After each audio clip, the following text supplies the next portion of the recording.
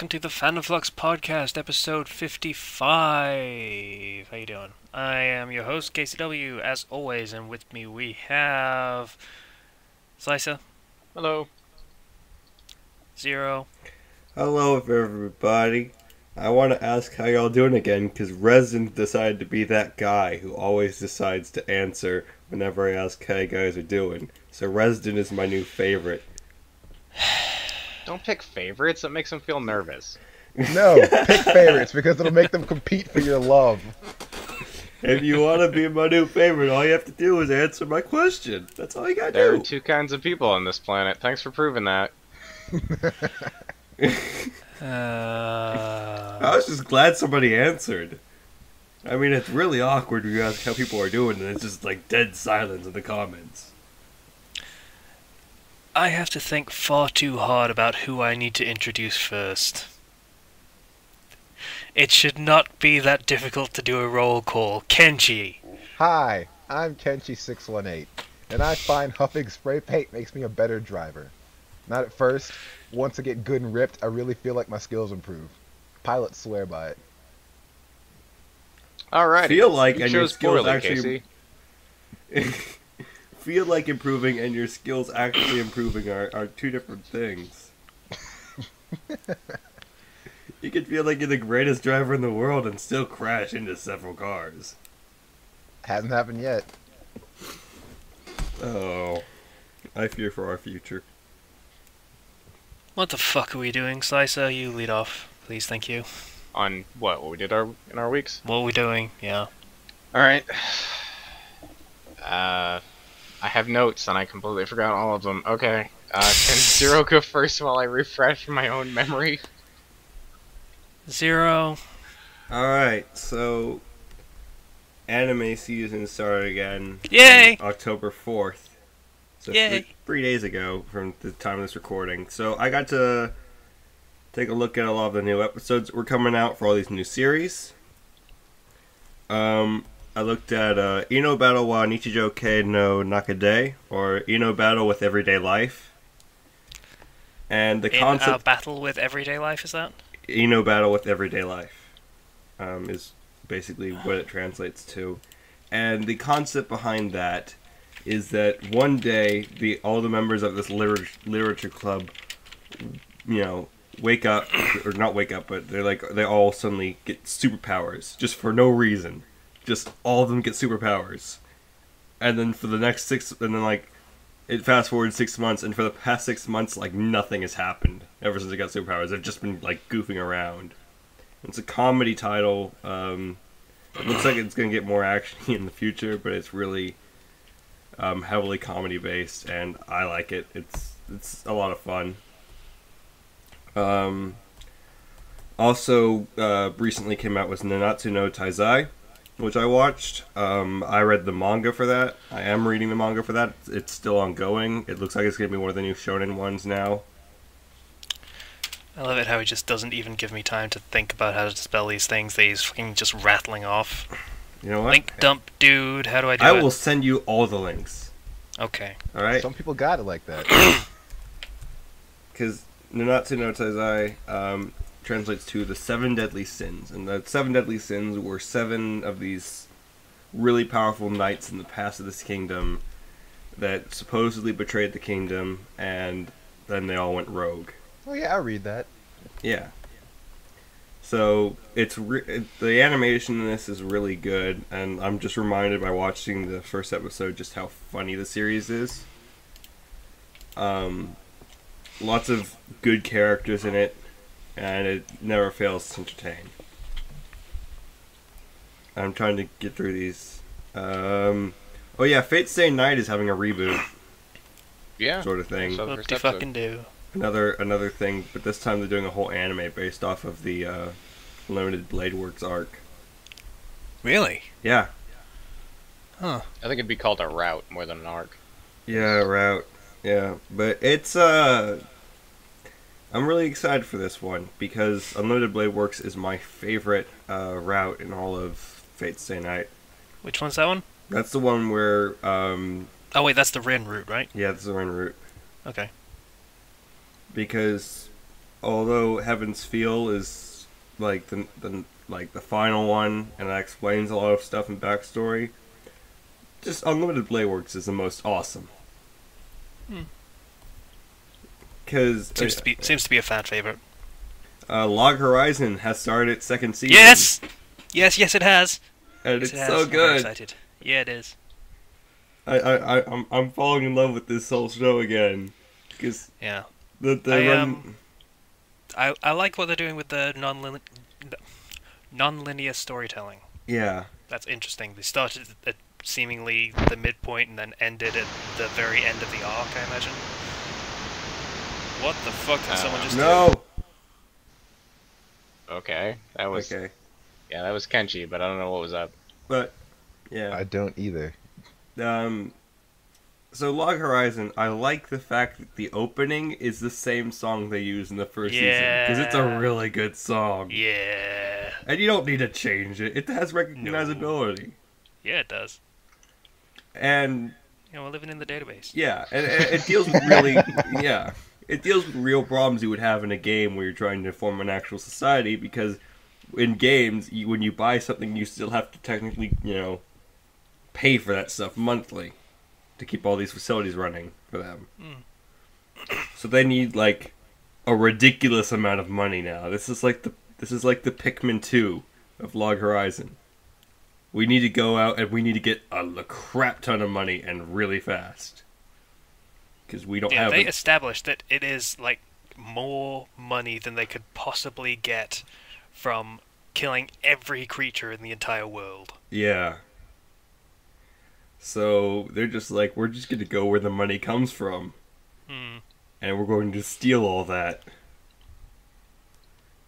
But Yeah, it's got it's got a bit of an Ocean's Eleven kind of feel to it yeah, because he's he's gonna go and recruit all these fucking people, including the asshole from the beginning of the first season. but you know what? That's what kind of makes it really cool. Yeah, I love Uh, this show. Yeah, it's so good. Um, also, a manga that I had recommended before, uh, now actually is having the first episode of its anime, and that's uh, Madano Ode to Venatus, Mhm. and remember. it's uh, it was a light novel rather, and it had also had a manga.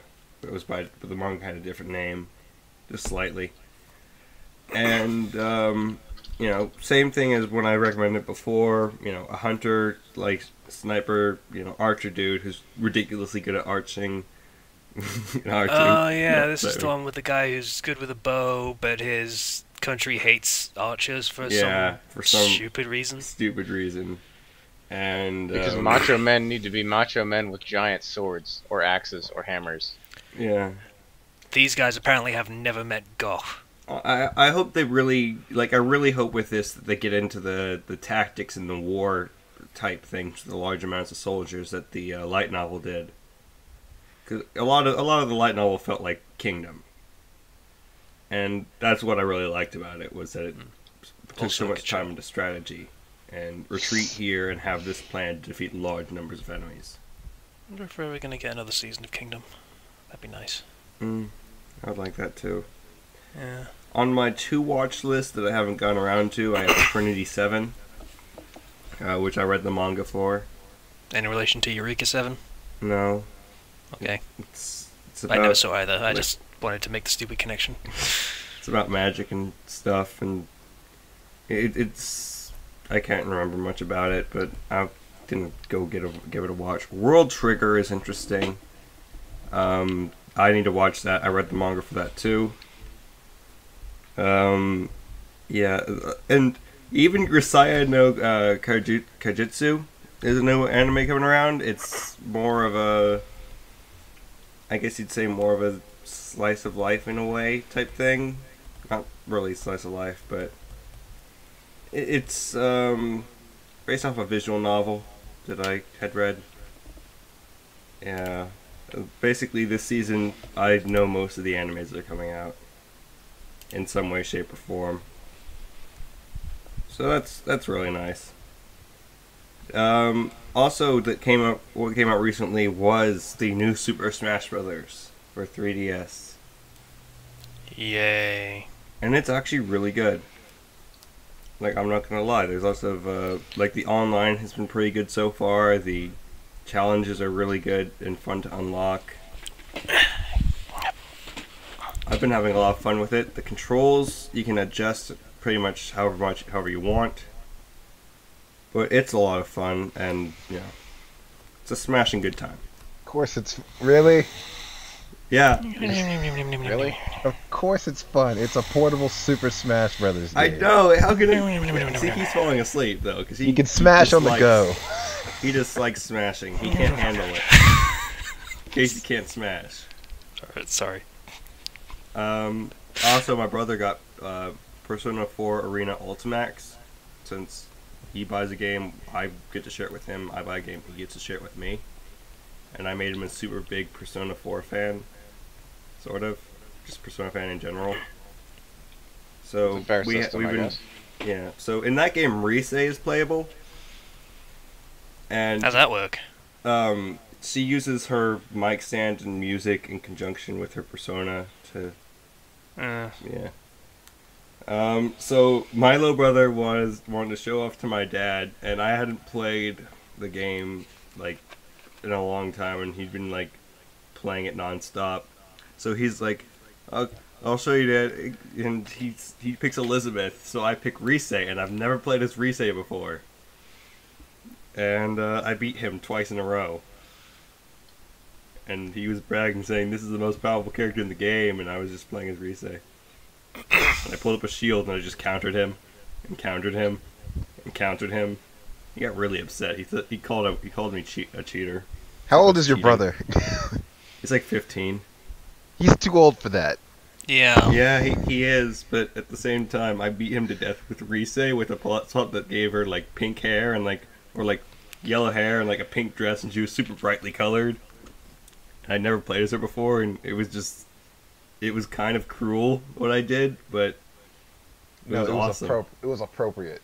It was appropriate. It was, it was an age appropriate beatdown. Okay.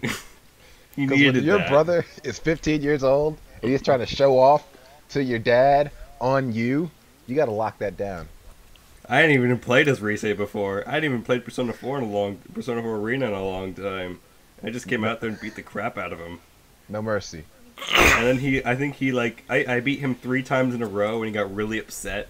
And whenever he wins once, he turns off the game and just walks away.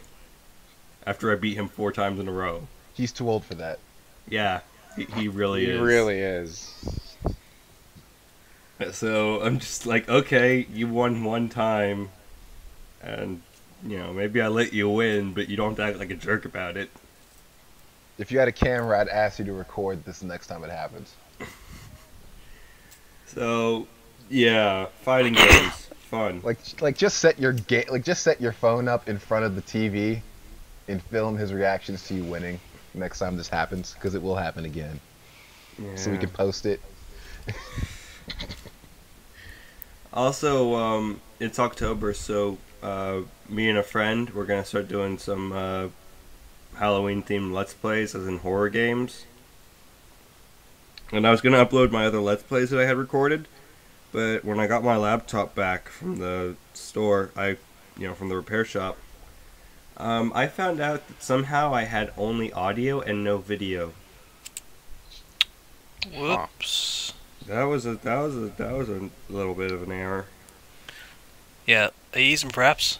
Uh, no, I'm using um, Open Broadcaster software. Oh, yeah. And the bad thing about that is I can't check it while it's recording. Not really. So Well, you can, but you'd need a second monitor to do it. even if I like, it's just weird. Once I pause, once I stop the, once I stop the recording, it creates it creates that as a video. So I can't stop it and look at it at all.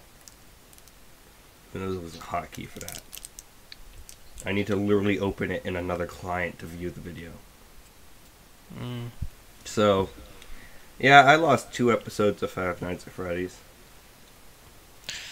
You didn't miss much. Uh, Welcome you, to you, you my didn't miss. You didn't miss much. I'm gonna be trying some more interesting horror games because Five Nights at Freddy's I don't like. It, it, it, I acted like a baby when I played it, and I was scared of animatronics. I don't like that. It may be a horrible horror game, but it scared me Mm-hmm. because I am a little baby when it comes to horror games. It's not bad for a while, but I mean, it pretty quickly loses its. Uh, I, I don't yeah. know. Yeah. Yeah, that's the problem we had with the next couple episodes was that we just it just lost it. We were just like behaving really normally. So yeah, that's pretty much my week. Um, you know, one guy also PM'd me saying, "Can I use some of your concepts from your Persona and Fairy Tale fic for my own Persona and Fairy Tale fic?" And it's like, "Sure, just give me credit." So there might be a new Persona and Fairy Tale fic showing up in that very small category Yeah. that borrowed some of my concepts. But eh.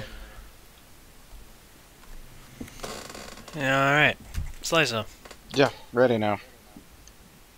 Alright, um, I may as well get the obvious one out of the way first. The last DLC was released for Dark Souls 2. I, uh, Ooh. I ran into a small saf- snafu. It turns out when I was on New Game Plus 2, I had gotten the Old Iron King crown and the Sunken crown. And I had gone into New Game Plus 3 before I had finished the last, uh, the Ivory DLC. So the crowns were not on the same new game, which means I, well, I didn't know that at first, so I could not get the dialogue to play for uh, Vendrick to bless the crowns. And so that was uh, a big adventure of me going back and having to redo all the DLC on New Game Plus 3, which, uh, if my character was not as overpowered as it was, would have been difficult. What was difficult was the constant Blue Sentinel invasions, or uh, Arbiters. Yeah, they're yeah. Hmm. thankfully, Slice- Slicer had been naughty, apparently. yeah, with NPCs. I'm in New Game Plus 3. That racks up a lot of sins when you They're kill still people, Slicer. Yeah, sure they are. Yeah, okay. Anyway, NPCs are people too. uh-huh. The good news is that I have uh, rearranged my spell attunement list, or whatever you want to call it, and now I can actually consistently beat blue the arbiters. And oh, is it good? it feels so satisfying to actually kill those bastards. Yeah, I don't like arbiters like at all. Actually, I was in um, I was getting the the thing the ancient dragon gives you. I forget what it's called. You go into the memories with it, and on the way there, I had just gotten to the the dragon shrine area right after the bridge that can collapse if too many eggs are smashed. And an arbiter invaded me, so I just ran back across the bridge and just waited there until he appeared, and then waved, and then ran back and used the zip line to run away. I was gonna hit him with a spell when he was zipping across, but uh, he left the game, and then I got a Steam group invite to "Well Fought, Sir" from that guy. It was I've I have no idea how he connected my username to my character name. I was not aware you could do that.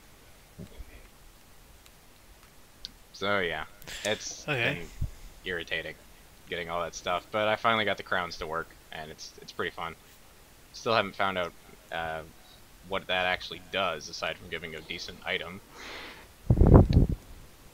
Anyway, that's enough about Dark Souls. The, Yay. I watched Fate Stay as well. I watched that first episode, and it is very apparent it's about Rin. The entire episode is from her point of view, and I had actually forgotten how awesome Rin's character was. She does not She take is. shit from anybody.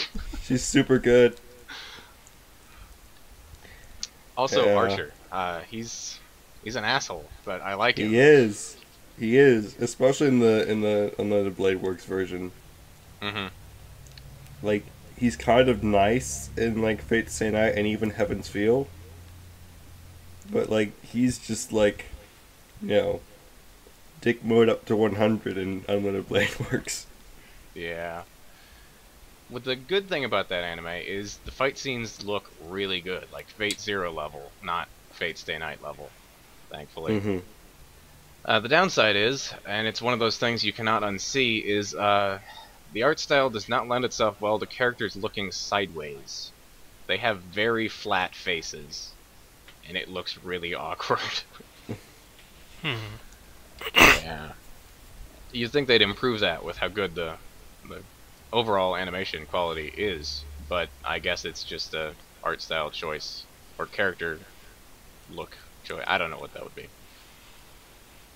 But overall, I definitely like it, and I'm looking forward to the next episode. A Log Horizon as well. That was also really good, and uh, that series has its own Tifa now, or rather has, but we haven't really got a good look at her before. Tifa? Uh, fist fighter, uh, huge boobs. Uh, I think Final Fantasy she... VII reference. Yeah, I think she was the leader of the. Bunch, was you know her Yeah, well. it- She's finally here to kick some tail. What? What? Wasn't What? it the debauchery tea party or something? yeah, like that's that? it. Yeah, she. I think she was the leader of that. Yeah. Leader of the bunch. You know her well. She's finally Yeah, I don't it. know what Zero's Stop doing. it. We're not doing that. K rap. Oh, okay. Uh, also, uh, lightning bug or ladybug season has officially started. I know this because half of my lamp bowl is filled with lady beetles, all dead. I need to, I need to drain that at some point. That's ooh, that's something. Yeah, Slicer, annihilator of ladybugs. I Aren't some of those poisonous or something? I don't know. I don't think so. They don't bite Don't you, they like, and if they do, don't they like eat aphids rare. or something? I thought they were super thought it was useful. pronounced aphids. Aphids. I don't know if they're ladybugs or lady beetles, or if those are the same thing, or I don't know. Whatever. Who knows? So yeah, that mm, there's a lot of them on ceiling and everything. They're everywhere. Ken? All right. I just want to start off by saying this is the first day off I've had in two weeks, Yay! and these are like 10 to 12 hour days. I am very tired. Ooh. Yeah, but think of all the money. Yeah, that's the thing. That's what I'm, that's what I am thinking about. My my next check, I'm gonna be pushing back fat stacks for sure. With a PH yeah, and a Z. fat stacks and a Z on the end of stacks Yeah. for flavor. It's Fla- for flavor. Flavor if you're in the hood, Casey. You look like you might be. Um, and I am also stupid because no I argument. have an innate need to hit things and twist things into a natural position. So when I was not at work, I was trying to train, which was a very bad idea because I didn't sleep. Yeah. The plus Yeah. side of all that, I learned four moves. Four really cheap new moves that piss people off when I finally use them on them. And it's going to be excellent. Okay. I learned one called my favorite new one is called the bicep crunch. It's really sweet. Kenshi six one eight has learned a bicep And crunchy. crunch. Deleted delete a move for, to make Yeah, room I for probably this one. yeah, I probably deleted a move to make room for that. Honestly, with the two weeks I've had, I probably forgot something. It's really good. I love it. Let's see. Um, aside from that, yeah, apparently I just found out that Saturday morning cartoons in this country are officially dead. Oh. Yeah, the last the last actual network that had them, like the last um syndicated network that had them, like CW, they're taking them off the air. So it's over. My childhood's officially dead. You know, no more Saturday morning cartoons. No, th- Yeah. th- that's not true. Yeah, it is. It's totally. Cartoon true. Network has cartoons all the time. Cartoon Network doesn't 24 count, and you know it. No, you're right. It doesn't count at all. Yeah. So we had a timely topic when we talked about Saturday morning cartoons because they're dead now. Totally dead. Yeah. Oh, it's a yeah. shame. Yep. And other than that, most important news that I discovered, and I don't even know how I did it. Um, I found that we have a TV tropes page, a real Yeah, one, we do. a legit one. It's great. So Casey's been super smug, and this is part of the reason. Yeah. Feels like we made it, you know? We haven't made it until this turns back into money for Kenshi. That's made it. Just for you. yeah. I'm a professional in the entertainment business. Okay, literally. Yeah. Te- well, news technically isn't entertainment. It is entertainment because we have to make it not boring somehow. Oh, right. The, that- we're talking about America. Sorry. Yeah. News is entertainment in your country. Yeah, it is. If it don't make dollars, it don't make sense. All right. That's how it works. Yeah. Um. So, moving on. Uh. Yeah. Saturday morning cartoons are dead, and Kenshi, just say something, please. I'm done. I don't You're really done? know what else All to right. say. Let's move on to our next topic, please. Do you know there's an art film where a guy has sex with a pig? No. I, I do No. now. All right. Don't bring this up. We, we're to keep stuff like this in the chat. It's called Vase de Noces, I don't want to know the title because I'm not going to see it. or in English-speaking countries, Wedding Trough. Wow. that that's actually a pretty good name. Yeah. Casey, He how was also your uh, Casey? ferments his own feces and turns it into tea. Casey, how was how was your week? How was your week? My week. Oh, this has nothing to do with my week. I just know these things for reasons. yeah, I don't want to be that creepy, so I'm going to say that there was a Brows Held High uh, review of the film. So fucking whatever. Ah. Yeah. Funny critics, yay. Anyway, uh, my week. Uh, so has anyone seen Akame ga Kill? Yes, I actually have been watching it, and I read the manga too, Yeah, I've read it. and I'm reading, and I am reading the manga. Yeah, I kind of hate it. Oh, really? Hmm. Okay. Okay. I have very extensive notes on this, so you're gonna have to forgive me while I try and read through them and clarify. Okay, right. So, first thing, I watched like four and a half episodes. I gave up when you get the counterpoint character, uh, the girl that's in the guards and stuff. Yeah. Yeah. Yeah, she's really messed up. Really. messed Apparently. up. Um. So, it seemed interesting by the end of the first episode, where it was. It seemed like it could do interesting things with the concept of assassination as a form of warfare. You know, the fact that it's probably the cleanest method, especially when it comes to revolutions, because it reduces both civilian and military casualties, because you only pick out the targets that are really, really important but it doesn't do that. Yeah, Like- they kind of kill everything. They kill everything, and not only that, it's not even about warfare. They're basically. None of the targets are actually people. Realistically speaking, they are all literally monsters. The show goes out of their way to show how ridiculously, cartoonishly evil they are. Every single one of them is either a murderer or rapist, or usually both. Uh, And well, it does. Like later on, it, it does get a lot better about that. I'm, I'm not going to lie. In the beginning, it does portray every single assassination target as just absolutely horrible. But then again, you have to, you know, consider that from their perspective, they are looking at this person is super horrible, and so there is bias there from the assassin's point of view. On the other side, um, once you get a little bit farther in, uh, you start to really they they start to introduce sort of a, a counter team to the assassins. They're, you actually sort of really like those characters too, and then it gets a lot more complicated. So then, when a character on either side dies, you actually begin to feel bad for both sides because they introduce some really interesting and some really good characters later on that I really like. And later, and even further on, then the army starts making their march, and you get to see interaction with them specifically, the Revolutionary Army. Mm-hmm. See, four and a half episodes in is too long to get to the good part of the show. It's a 24 episode anime though. It's it's longer. It's twice as long as regular anime that are not that are nowadays. If I have spent well over an hour on this show and I have I am still completely bored by it, that is not a good thing. Not really. Hmm. So I'm going to continue ragging on the show, by the way, because like I said, I have extensive notes. Um,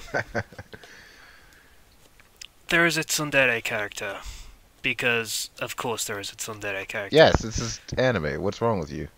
Yeah, she totally is. Yeah, and she is constantly bitch for no ac- adequately explained reason, and condescending, which arrogance, fine, character trait, it happens. Hold on, wait, which episode is? She gets major, major development in one episode coming up. From where you are, like literally like an episode or two away. Episode three is the one where she gets focal point. She's the one Yeah. training the guy. Yeah, I and she's totally completely a jerk, and she does get way better. Trust me. hmm But see, they're trying so hard to make it tsundere that they're actually contradicting their own backstory for her. Mm. Because the entire point of her backstory is she's foreign, right? So she has a really rubbish childhood because of it. Mm. Gets ostracized from society and stuff. And then one of the biggest things that she bitches at the main character for is that he's a hick from the country. And she keeps ragging on him for being born outside of the city and not knowing everything that's going on there. Yeah. Bit of a contradiction, bit of hypocrisy there, thank you very much. Yeah, that's confusing. So, no, that's poor writing. Lazy writing, even. So, that really bothered me, even above and beyond the fact that she's yeah, a but the tsundere character, which I don't the, like in the, the first place. tsundere stuff is not really her real personality, though. There's there's there's more stuff to her. Okay. And final point on my ragging on Akame ga Kill. Uh, so, Japanese homophobia. That's, still going strong. I notice. Hmm. So, all of those times that the uh, gay guy, I forget everyone's name, so no one be offended, please. Uh, every time that he flirts with the main character, the main character doesn't think to say, "Hey, I'm straight, so please stop flirting with me." It kind of makes me uncomfortable. To Yeah. which a gay man would probably say, "Sorry, it's a habit. I I'm just like that sometimes, but if it really bothers you, I'll try and tone it down." Okay. Just Bulat, though, like thank he you. That was forms, the a, name. yeah, he forms a really strong relationship with Tatsumi, though, and in sort of like a brotherhood type thing. Is that the protagonist's name? No, That's the Tatsumi, yeah, gay dude. Or Tatsumi and gay dude? Bulat. Bulat's the gay dude. Okay. Yeah, and Tatsumi is the protagonist's name. Yes. Yeah. Yeah. But yeah, they, I get that. I get Yeah. that's what they're going for and that it's working, but really, it, it's Japan though. I know, but come on. Like, Mm. I I wouldn't say it's something specific to this anime. No, it isn't, but it's still not a good thing. Uh, next thing I had in my notes is Log Horizon, so you know, I said my stuff about that. Uh, okay, I have a question. What do we think about Fallout? I do have to think about Fallout. I forgot about this. I super like it. dig it. It's awesome, and I love it. I don't Okay. like how they reuse textures for every single area in Fallout 3. So every so almost every place that you explored after the main areas was boring. I'll bring up a new point and focus a little bit. What do we think about Fallout 4? Just as I- an idea. It I doesn't want it to happen right now. It doesn't exist. I th- there's parts of the world that are so unexplained that I would like to see where those things happen. Like we heard about that. Remember the I think it was in three or New Vegas with the android that had showed up. Yeah, it came from California, not California, uh, Canada or something, right? It came from like Pennsylvania or Massachusetts, somewhere up north. Oh yeah. And, and this whole, whole sort of weird sort of society of rich people. I don't know about you, but I would find it really interesting to see what that society looks like, and we're Mhm. to see whether it's like on the verge of collapsing or if it's actually like just how horrible or how quote unquote good it is. Yeah. Like See, Yeah, here's the thing. There are a lot of interesting things that they could do in Fallout 4 because the Fallout universe is actually pretty damn interesting. yeah, but Fallout 4 will be developed by Bethesda. Okay. Those, you remember Fallout New Vegas, Which where was, they had all the interesting things going on. They had the NCR, who were kind of a attempting to be a good guy society, mm-hmm. but just struggled because they were stretching themselves so thin. yeah. And you had Mr. House, the uh, still living president of Robco, who has lived for about 200 years in this little glass bubble and has been running New Vegas with an iron fist. And you had the fucking Caesar's Legion, which was a really interesting idea of trying to revitalize society with uh, Roman teachings that ended up being just tribals that have banded together to make everyone slaves with misogyny and being Luddites as well. But, you know, that was a thing, and unfortunate. Mm. Remember all those interesting concepts that came out? Bethesda Yes. made none of those. That was Obsidian. Obsidian made the good Fallout game, the Fallout game that was actually a Fallout game. Bethesda made. I know this is the common insult, but they made Oblivion with guns. You had no choice in the plot line. You had nothing to work with as far as, you know, deciding what you wanted to do while you're in the world. You followed their plot line. You found your dad. You had to help those stupid pain in the ass scientists when they got caught by the Enclave, even when they were shitting on you the entire time and being all aggressive for no reason. Then you get dragged into the Brotherhood of Steel, and you have to help the Brotherhood of Steel. For reasons. All of this to turn on a fucking water purifier, which you have in your house, by the way. Your little robot buddy that sits in your house can make pure water for you, and you could just distribute that if you feel like it.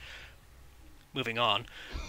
That's condensation from the pipes or something like that. I forget the actual reason. It's But not it's something you get a lot of, water. though. In a rope, they don't even have to make the whole fucking robot. They just take that one part that condenses the water, and you have water purifiers. Moving on, as I was trying to do. so you have to help the Brotherhood of Steel fix this fucking water purifier. You then you have the fucking enclave that decide, okay, we want to fucking take over the water purifier, so cool, we do. And then they capture you, and the president asks you to fucking put FEV virus in the fucking water for no adequately explained reason. Because could do that, I Robo guess. racism. He Yeah, did. He did doesn't- It that. doesn't actually do anything. He did it but, you know. so he could kill off everyone in the way. He said everyone in the wasteland was basically affected by radiation and shit, and it would kill off everyone that was. So that was Which, what that by was the for. way, includes you. Pretty Yes, much. it does. Your Pretty player much includes character is everybody. also included in all those people who would die because you were born in the wasteland. So why the fuck would you ever do that? If you uh, you do that and you die, actually, it's a or something like that, or you take damage when you drink the water. I forget what it is. Yeah, so why the fuck would you ever do that? And then you have Colonel Autumn on the other side of the Enclave saying, Well, I don't want to fucking do that. I don't want to put FEV in the water. That's fucking stupid. I'm not doing that. I just want to turn the water purifier on so we can give people free water. Why can't you join the Enclave? Yeah. I don't know. They are know. doing the exact same thing as the Brotherhood. I think because by the time they were actually introduced as a force in the game, it was so far along that you, even if they'd given you the option, there wasn't much you could have done with it. What? You you could have been on the Enclave side and you could have fought the Brotherhood of Steel. It would have basically been a palette swap of the enemies, but it would have felt like a choice.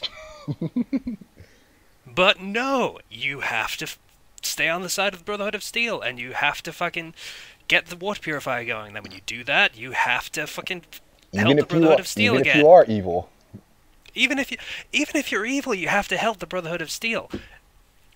I'm going to bring up spoiler warning because I watched that series again recently, and this is pretty much where this entire rant came from. But the fucking when you're helping the Brotherhood of Steel in Broken Steel, the DLC expansion after the end of the game, you're basically forced to help them. Like you can do the quest chain, you you get to a certain point, and you can ask a guy, okay, I'll do this thing, but uh, how much are you paying me? And at this point, this character will give you an entire spiel against. Hold on. There is something you are not understanding. You are not a mercenary. You work for us now. Since when? Exact. Should have been the exact next thing you could say in the fucking dialogue chain. Since when should have been the immediate Yeah. next option. I Yes. really like New Vegas because it did so many interesting things, and every single area was, well, different. It let you make choices. It lets mm-hmm. you choose which tribe you could roll with. I could roll with the fucking first, like the dudes that threw explosives from the fucking prison. I like those You guys. could help the boomers. You could just go into the fucking boomers' home and blow the shit out of all of them if you wanted to. You could help the Brotherhood. You could blow the shit out of all of them if you wanted to. You could get them to side with the NCR, strangely enough. You could go see the Great Khans and help them fucking deal with fucking LC- NCR. You could have them stay with the Legion, or you could have them run a suicide attack at the Hoover Dam, or you could have them help the NCR. You had choices for how to deal with all of these factions, and None of that in Fallout 3. Nothing. Not so much, no. And this is what we're going to get for Fallout 4. Well, so- you did have one choice in Fallout 3. you could either choose to help the slaves at the Lincoln Memorial, or tell the fucking slavers at the Lincoln Memorial where to find the slaves, and then watch them go there and kill them all. That was a choice. That was that was a pretty evil choice. Yeah, that was pure evil. Um, one thing though, uh, I kind of am hoping that Bethesda got better about it. Oh, that is a vain hope. It, it, it is. That is a vain, It vain is, hope. but after seeing New Vegas and after having a lot of time to think this through, and even working on Skyrim, which was a step above Oblivion, I, I'm just hoping that it's. I'm not hoping for. I'm not hoping for a miracle. I'm not hoping that it's going to be like the most interesting game ever, and it's going to give you choices controlling over all the factions and everything. But I'm just hoping it'll be at least a little bit better. I will give them the slightest amount of credit for Skyrim because they tried to let you have choice.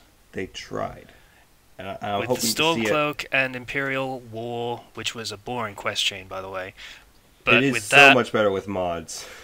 they let you have a choice. And at one point in that quest chain, you can switch sides.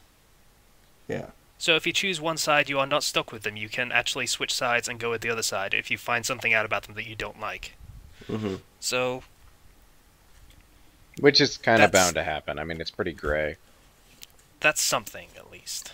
Also, what you're saying about the how the quest line is boring, I have never beaten the main quest in that game, and nobody I know has actually. Neither have I. I have. So there's somebody you know. Hmm. Way to be the odd one out, Zero. I have to. I, I, I played pretty much every single quest in that game. So, and then I went on to mods. I have to tell you, the Civil War is much better with Civil War mods. It completely revamped the entire thing and system and mechanics. I'm sure I'll get there eventually when I finally pick up my Skyrim playthrough. The, the Uh. mythical Skyrim playthrough.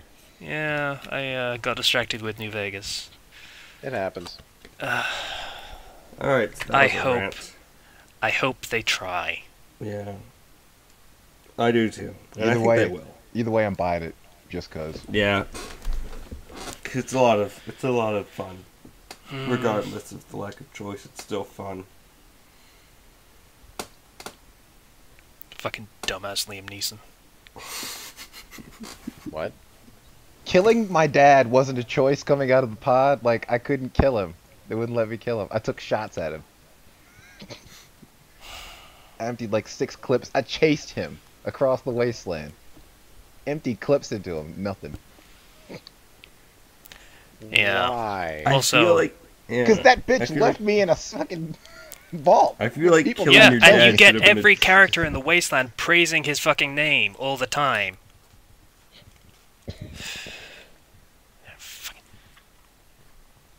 But Zero was gonna say something. Yes, you were. No, never mind. You said it for me.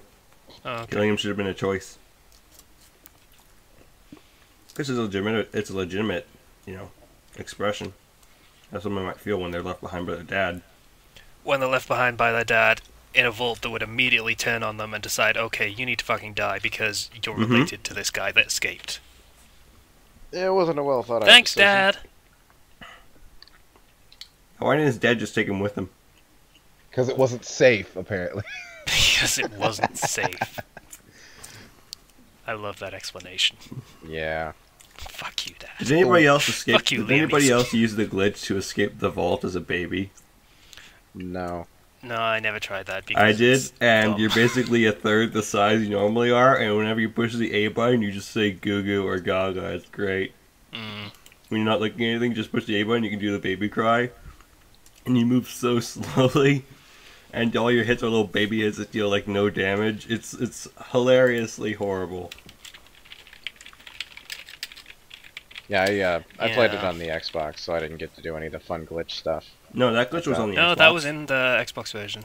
Yeah. Oh, I was not aware of Yeah, that. you, you could totally do that. You basically just run past your dad as soon as you can so you can get out the door. Mm-hmm. And you close the door behind you and lock him in.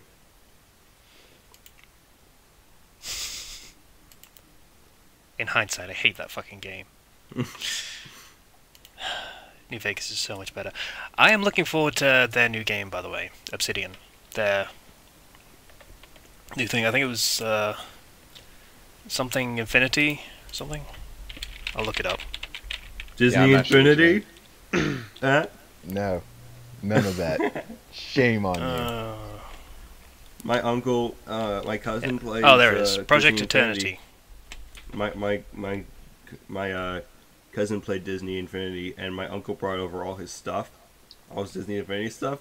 He brought all of, over all the toys and everything except for the game.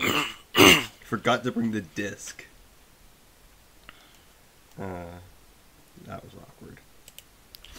Yeah. Obsidian's next game is Pillars of Eternity. Mm. Yeah, cool. Uh, from the brief, it, it aims to recapture the magic imagination, depth, and nostalgia of classic RPGs that we enjoyed making and playing. Uh, Bring it.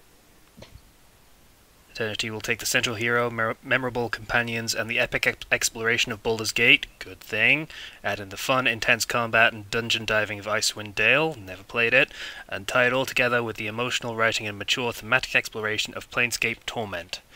This is basically my ideal game, almost. so, yeah, looking forward to that. That's going to be good.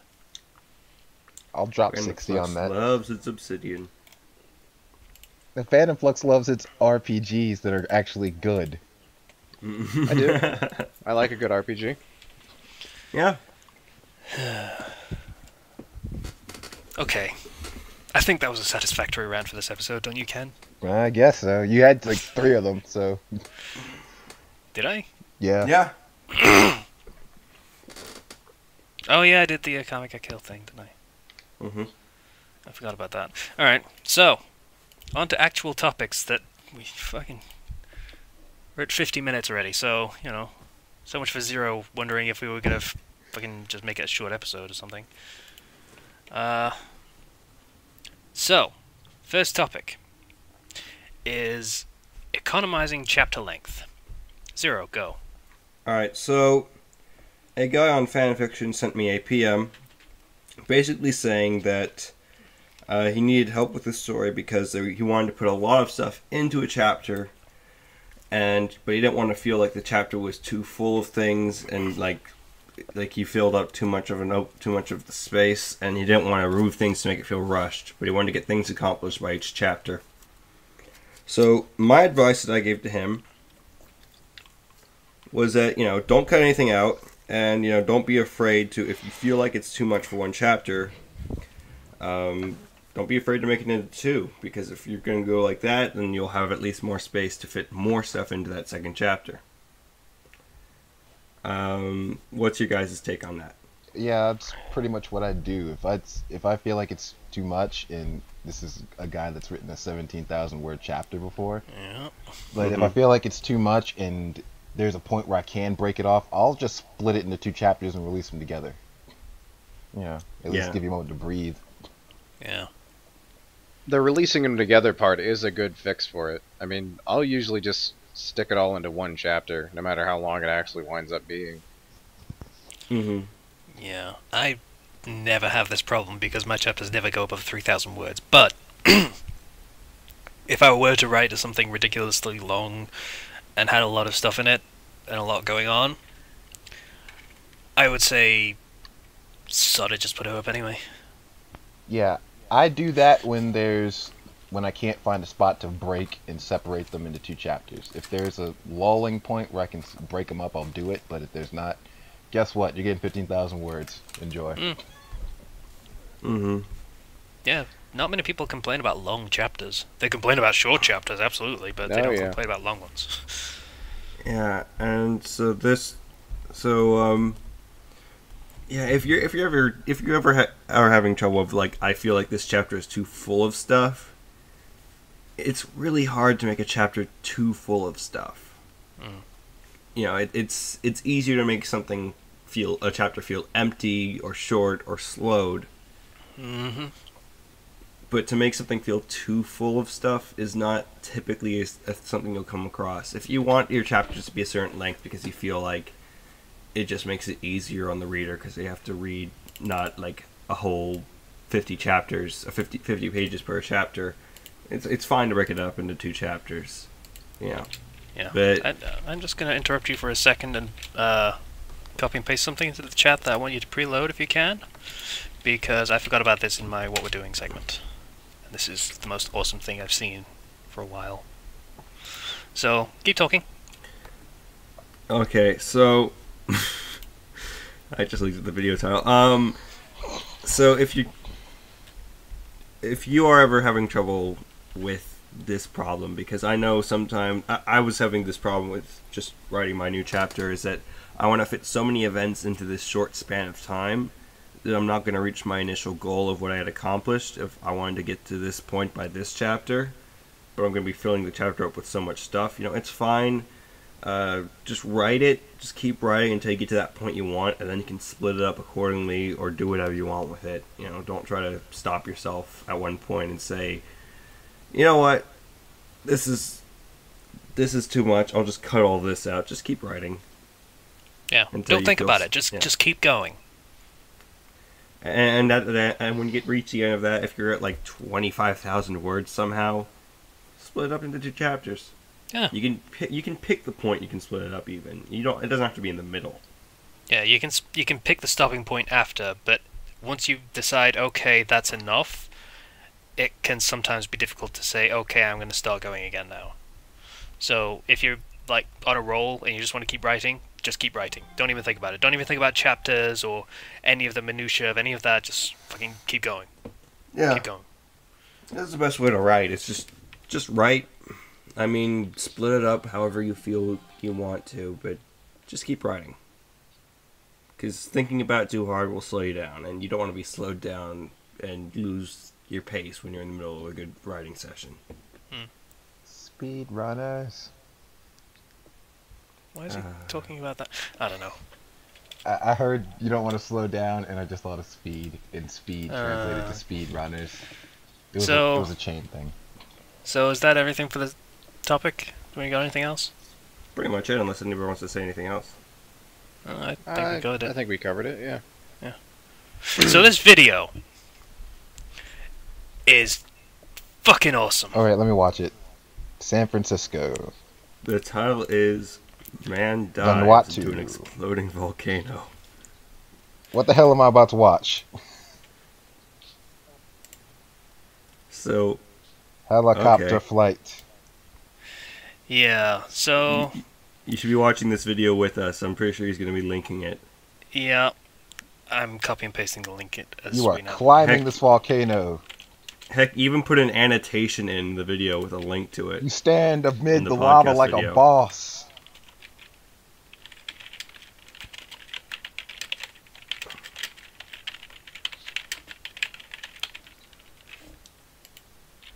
Yeah. So Why are you touching that? Don't touch that. that's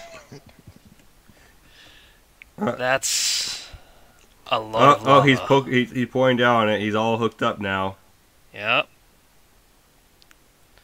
Why are you doing this? Oh. Stop it! This is not a good it's idea. Awesome. This seems like an exceptionally stupid idea. What is the point of this? To prove that he's a man. Oh God.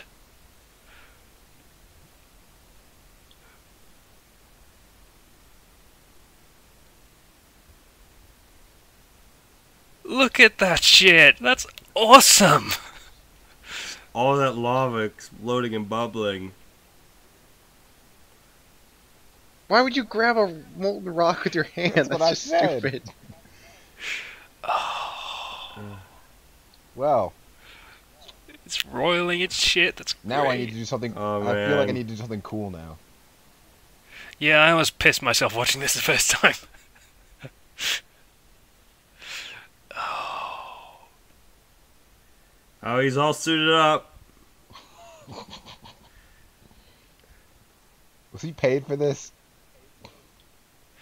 Uh, fucking YouTube I hope he advertising. gets a maybe? I raise for know. this.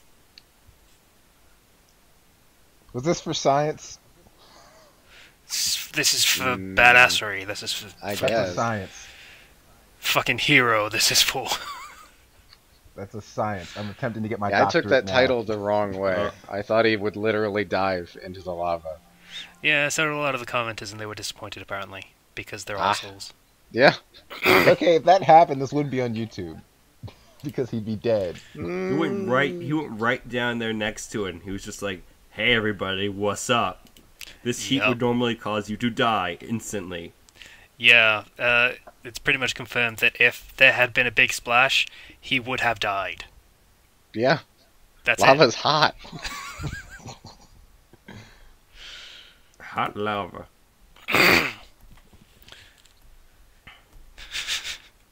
We touch a lava. But no, seriously, getting right next down to lava like that without any protection, you would start burning and dying instantly. Yeah, the sulfur in the air. That's why he was wearing a gas mask because you can't breathe that air. You just can't. And he just went down next to it and he's just like, "Screw you! I will defy fate." Floor is lava. Yep. I will stand down by this big broiling pot of lava and do fucking hero poses. Check me the fuck out. Yeah. You deserve to do that if you go down there right yeah, next to lava. Yeah, you do. Just Can't like fault him for it. Don't, don't think I'm balls the faulting. size of freaking wrecking balls. That's man. So that was awesome. That, that- that was Uh, awesome. America. Completely random. America. Are And they American? I think I he's know. I American. That seems like an American thing to do.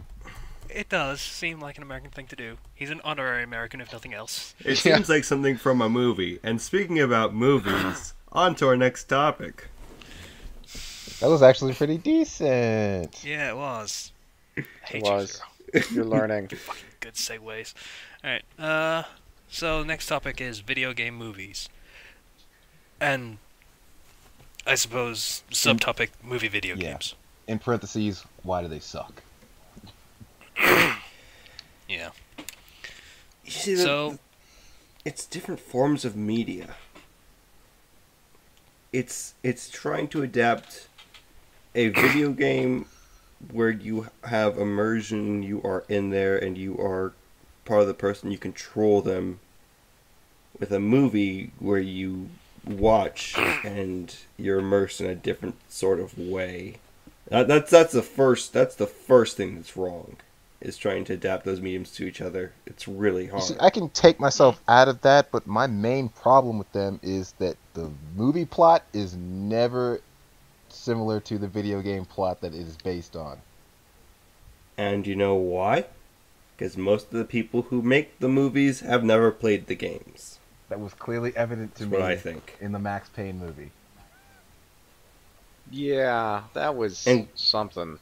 And it was clearly evident to me in Super Mario Bros. I, I remember that movie. Mario Mario? and Luigi Mario. I still can't believe that's their last name. Yeah. Hey, you see these dinosaur turtle people? They're called Goombas. Hmm. Bowser's a businessman who all of a sudden turned into a weird dinosaur person that looks nothing like the actual Bowser. Wasn't he played by that guy that died? Probably. Real specific there. I forget what his name was. I'll look it up, but I think he died recently. It- you're not talking Yeah. about Philip Seymour Hoffman, are you? No. But a lot of the time, you can really feel that the people who wrote the movie or the people who directed the movie, somebody or all of them didn't play the games. Dennis Hopper. I don't think he's dead. Is he dead? Like, Died May 29th, 2010. Oh, mm. Oh, so not really recently Wow. then, is it? Not really recently, so, but so you let me bring up the let me bring up uh, another example of bad things converted to movies. Um, the Dragon Ball Z movie. do we have to talk about this? We, we're Like, pretty sure we that talked doesn't about this. count. That's a no, that's an I want I want to talk about that for a reason. I want to talk about that for a reason. Is because one of the after that movie came out, the actual creator, you know, Akira Toriyama, had said they hadn't they had ignored basically all my suggestions and wanted to do what they were going to do, and that's what I feel like happens with all these video game movies. Is they they don't go and consult the people who made the video games. They do what they are going to do, and they do what they think is going to make a lot of money. Yeah, pretty Well, much. They uh, they yeah, do what that's- would seem to be. That's to not sell, a bad thing. I never mean, think about it. Video game makers know how to make video games. They don't know how to make films. So why Yeah, would they the talk to video game makers about how to when make your films? Main, the problem is that when your main audience is the video game audience, and you don't give them what they want, which is a a, a good movie with But the similar, main audience isn't the isn't the video game audience. It is Yeah, still going but to the, be the video game exact audience are the ones that will give it the crappiest reviews, and it's also like even if your even if your main audience isn't the video game audience, These movies still suck. yeah, and a lot of the quality, it's just Okay. Here's my counterpoint. Uwe Boll. Take his entire body of work and remove it from the equation. Then video game movies range from pretty bad to pretty decent. Which is true for a lot of films. So, fucking generally speaking, video game movies aren't bad. can you name a few examples? Uh, let's see. Silent Hill was decent. It was, Mm. yeah. Uh, Tomb Raider was decent. The first one, the second one was kind of dumb, but still not terrible. But what Absolutely about Resident Evil? Resident Evil, I can forgive One- Resident Evil because the plot Yeah. of Resident Evil games are terrible. yeah, they are. They didn't have a lot to work with. The I do first actually one was like good. the Resident. I do. I do actually like the Resident Evil movies, despite how silly they can get. Yeah, Oh, yeah. the first I one do, was yeah. good. The second It- one was it- kind it- of dumb, but still it's okay. just that when you try to adapt a movie, a video game into a movie, then you can lose a lot of the stuff that made the video game. Was Judge Dredd a movie first or a video game first? It was a comic. It was a Comic, yeah. On, on, on the other side, video game movies, as in video games based off movies. Yeah. Okay. You know what? Discuss because I know why these suck. So- Sometimes they are better than the movie, and that's sad. Or sometimes it's really good. Um, I know the Amazing Spider-Man 2 game was actually a lot better than the Yeah, movie. It was that. short, and that's what got criticized for, but it was supposedly a lot better than the actual movie itself. Because it didn't stick straight to the plot of the movie. It was like a sort of a weird extension or alternate universe or something. And gosh. I just want to point out all the Shrek games real quick. Mm-hmm. It people take these things a little bit too far. Um I mean with Shrek they try to do a whole franchise. They did party games, they did fighting games, they did a racing kart game. Uh-huh. And yeah, I'm not joking. Yeah, because Shrek is not I wish for you were, but I know Shrek you're is not not. for us. Shrek is for kids, and kids are stupid. They'll buy anything. Yeah. They don't. They Pretty don't much. know that a Shrek game, a Shrek racing game, is supposed to suck. They just see Shrek. I can make Shrek drive a car. Buy me that game. and parents will buy them that game. I, I suppose I was guilty of that as a kid. I bought uh, Looney Tunes Racing, and it was actually a pretty solid game. Just you know, that was probably one of the exceptions, though. Yeah. Mm. A lot of the problems I have with most of these games is that because they don't have the same budget as the movie, and I know it wouldn't it would be like impossible. They don't have the same quality of voice acting. Typically, they typically have substitutes for any sort of voice acting in the game because discount voice actors that sound like other characters. You know, and sometimes you can't use the actor's likeness, so you have to change the model of the character, which already is weird. So they have a different voice, a different character, they look like a different person, so that's already weird enough to disengage most people. And then you have bad gameplay because eh, they don't spend a lot of time on it. Okay, here is actually why movie video games suck. And that's because, like you said, they get very little budget. They also get very short development windows. Yeah. They get maybe six months to develop a game, and they are given strict release dates. They have to come out around when the film comes out, usually a couple weeks before, so it can be used as a promotional device. Yeah, that's that's never gonna lead to a good game. That's pretty much why all of them end up terrible. When it leads to a good game, though, you're like, this. These people were geniuses. Yeah. Because it takes that kind of genius to fucking pull something out like that when you have so little time and resources.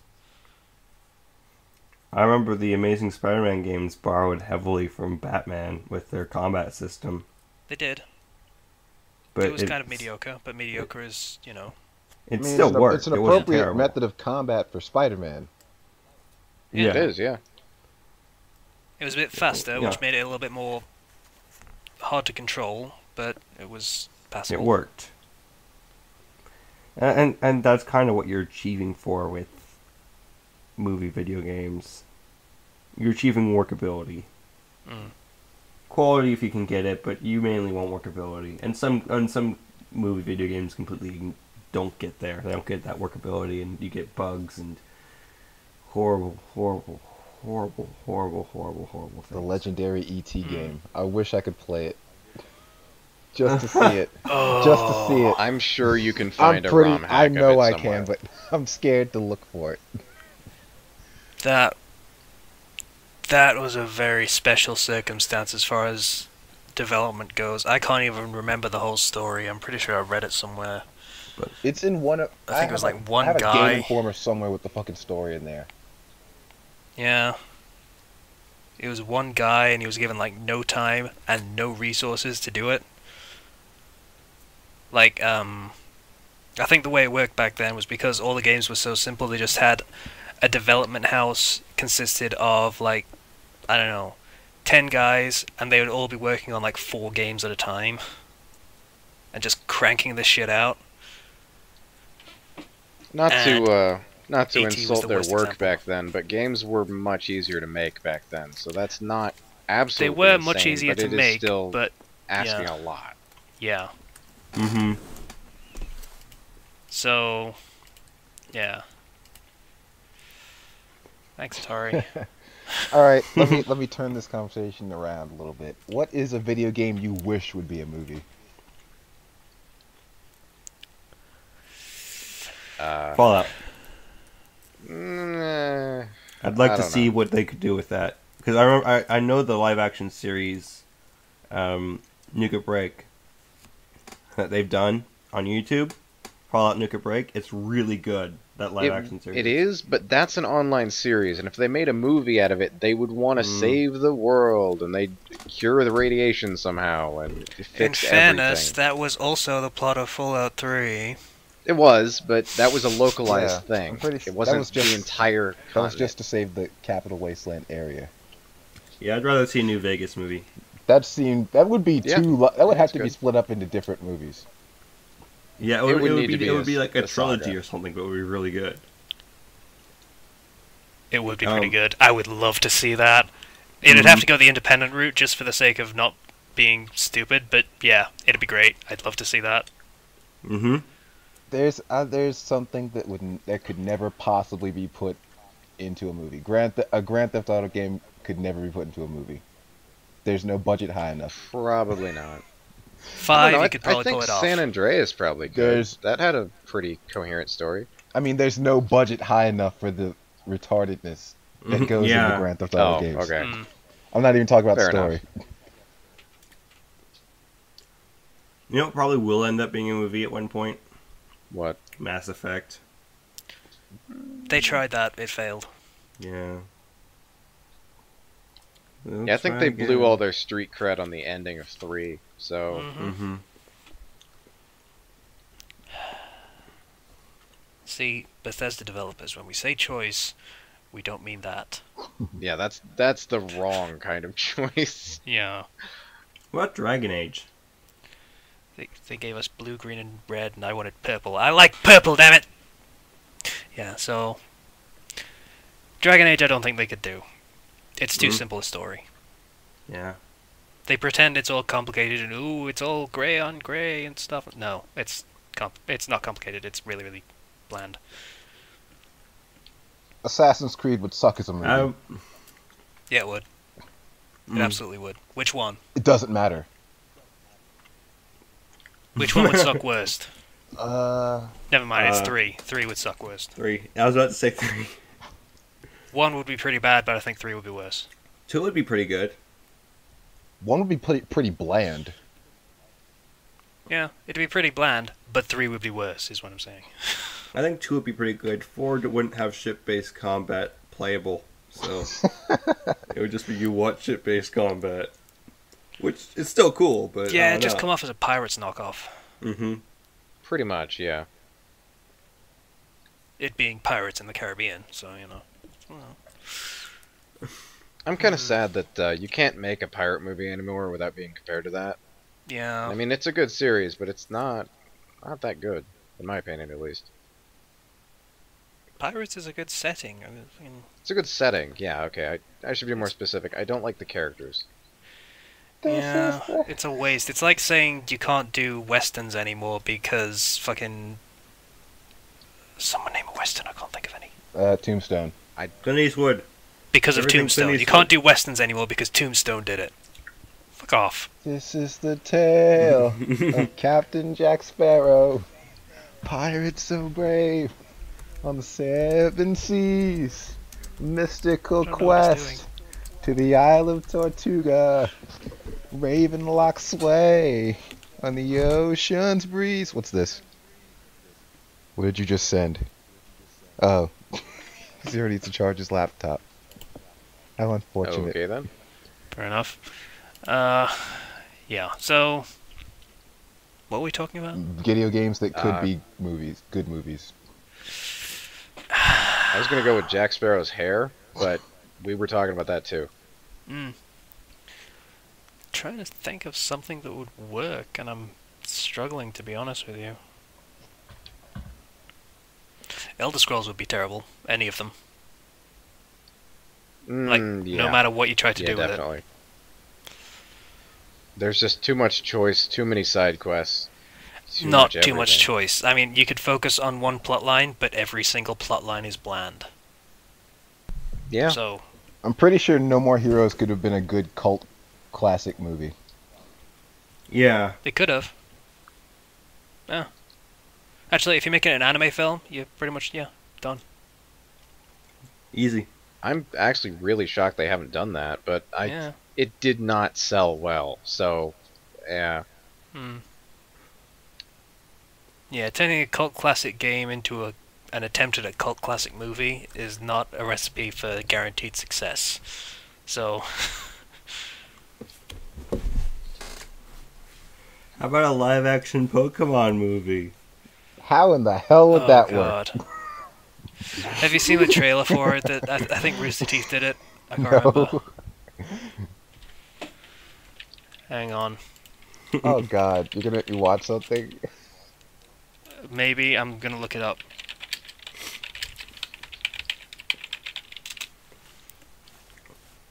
Oh Um, no, it wasn't. Uh, It wasn't Rooster Teeth. It was uh, Make a Steak Man, according to this. Oh yeah, Mega Steak Man. I'm subscribed to him. Yeah. Never heard of him. So feel free to watch this if you want to, Ken. I'm not really fussed. I would say l- I would But say yeah. Last of Us could have been a good one, but that is a movie. It is going to be a movie, yeah. But it pretty Yeah. the game Wait, the it game is? itself. That was Yeah. actually Yeah. Oh, that's right. It is. I totally forgot yeah, they're totally that. doing that. That's awesome. Of course, the game itself is a movie. Which absolutely makes sense. I mean, Yeah. Why would you not? They do should that? make every David Cage move, every David Cage game into a movie. you know I that. was You playing had it it when I right- That's a was- you Freudian had it slip. right It already first is a movie.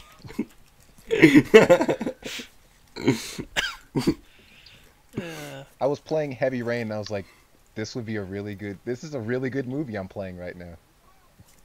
Yeah. Metal Mhm. Gear Solid.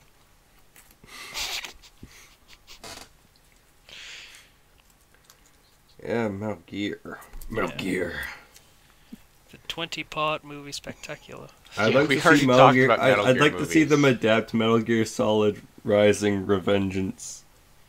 to a movie. Yeah.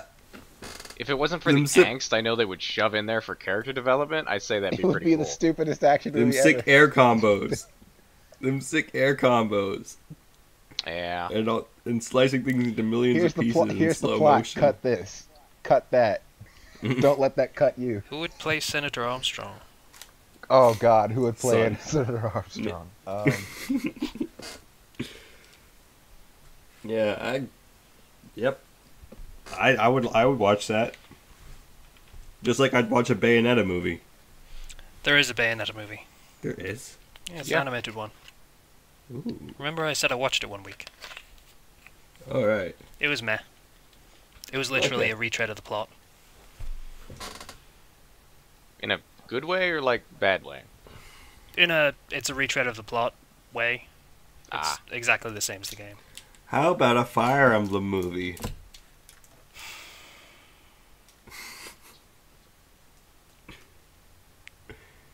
I've Uh. never played a Fire Emblem game, so I couldn't tell you if it's a good idea or not. That's a bad idea. Might might just be the best idea ever. No, I think it's a bad idea. I don't think it'd work very well. Uh, hmm.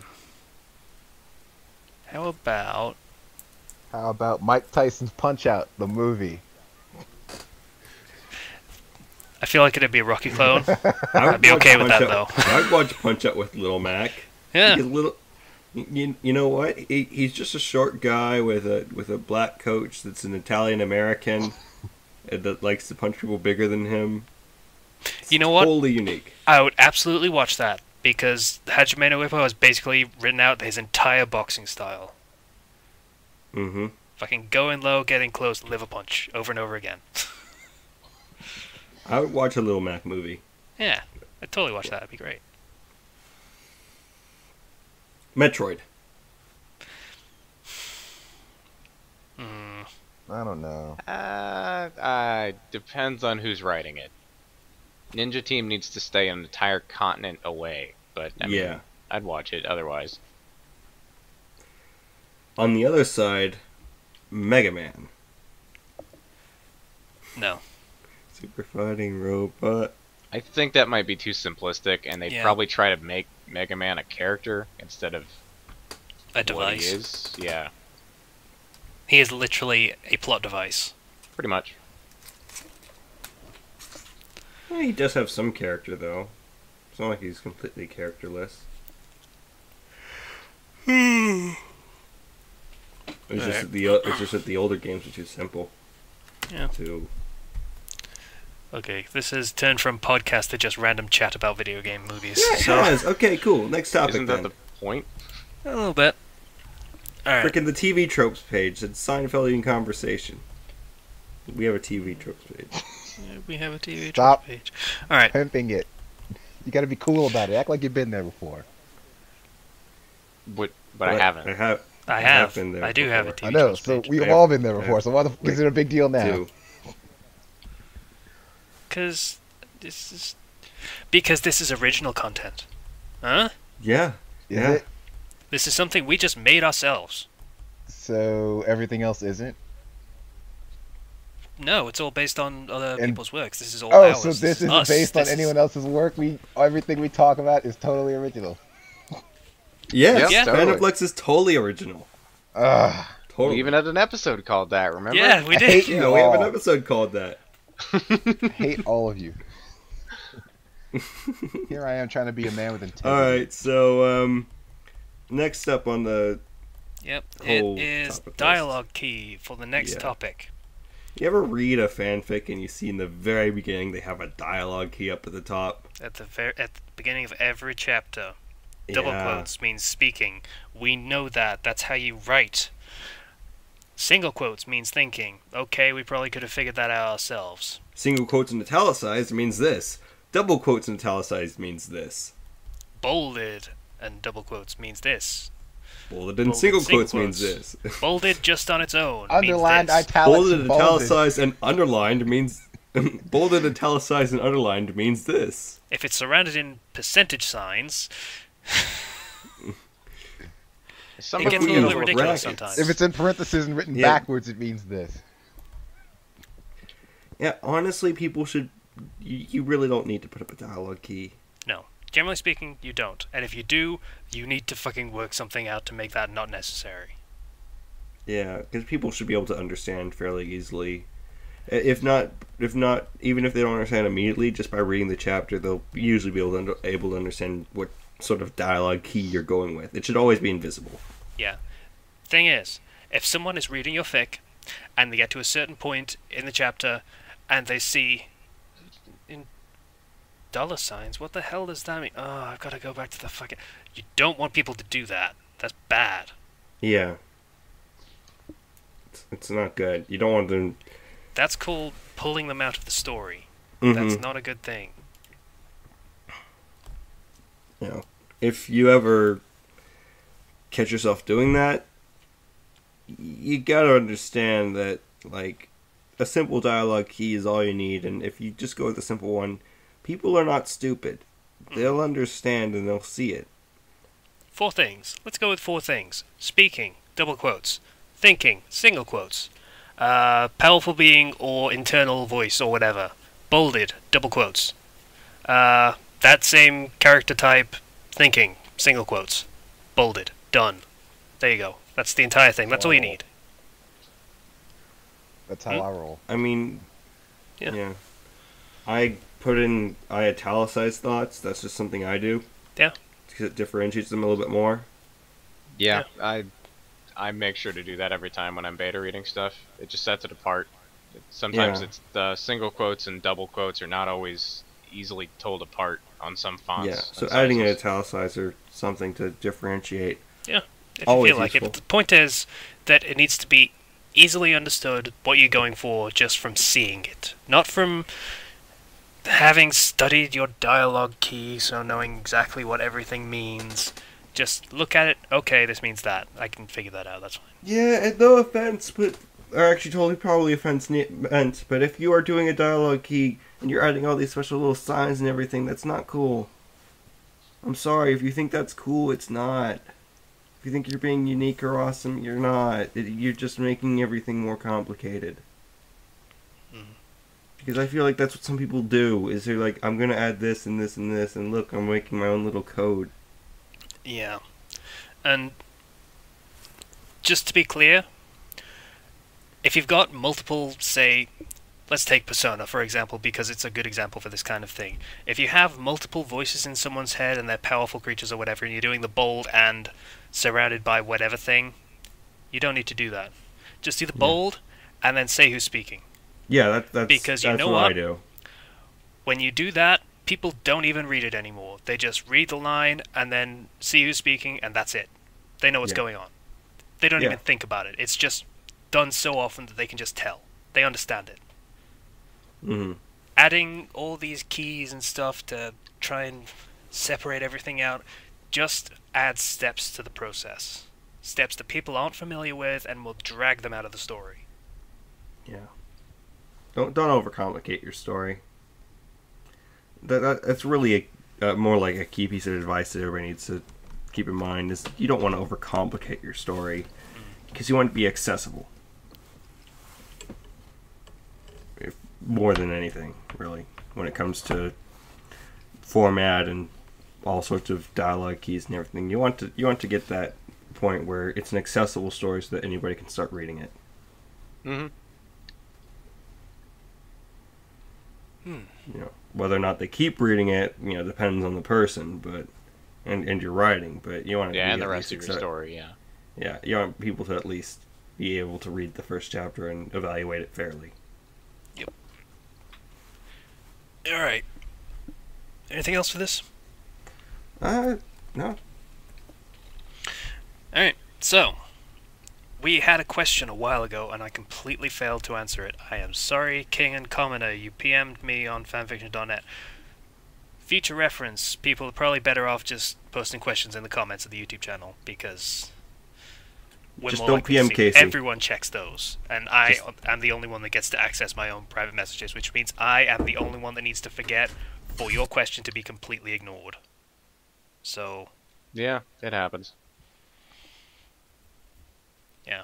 So, King and Commoner's question, again, sorry about that, is Do you check archives of people who review you? Paraphrased. Yes. Yes. All the time. Well, Sometimes. Ish. Well, most of the time. If they're leaving a review, and it's a it's and even if it's just a fairly well written review, you know, most of the time I like there was a time when I literally every time somebody favorited or followed a story, I would go to their profile and see what they had written and see what they were about.